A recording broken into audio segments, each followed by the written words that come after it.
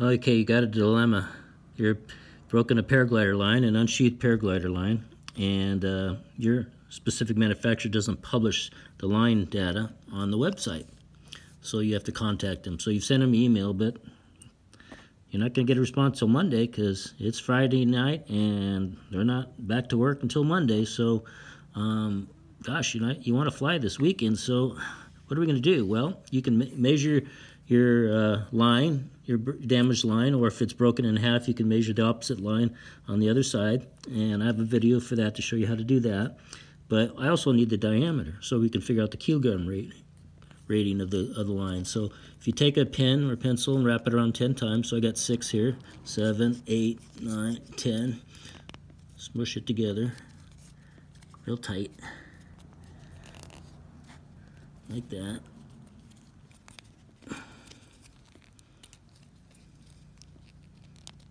And double check, two, four, six, two, four, six, eight, ten. Oops. Let's double check that again. Two, four, six, eight, nine. Oops, I did have it right. Ten. Okay. Put it together tight. Measure that. We have 10 millimeters. Divide that by 10.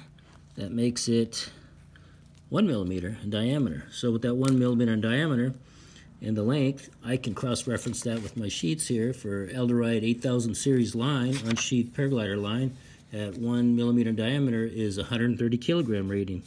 So we can make that line up for you now and not have to wait till Monday.